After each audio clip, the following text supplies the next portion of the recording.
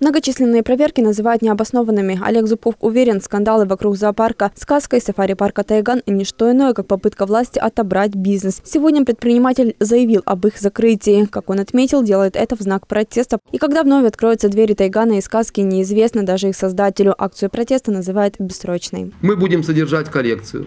Мы будем делать все от нас зависящее, чтобы обслуживание коллекции проводилось на должном уровне. И поверьте, мы это умеем делать и будем делать.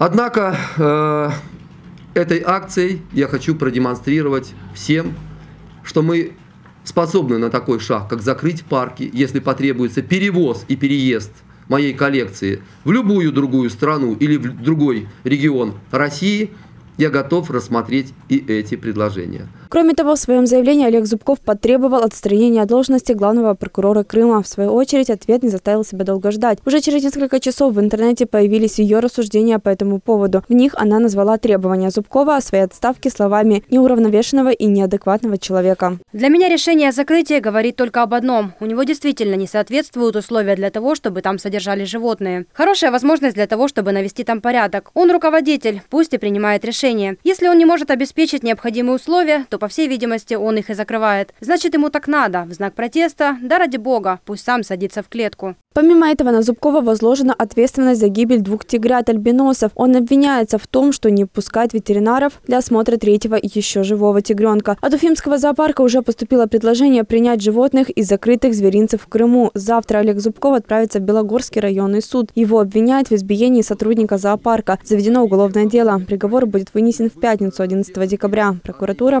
потребовала для Зубкова наказание в виде трех лет лишения свободы. Юлия Попович, Виталий Голубев, служба новостей ИТВ.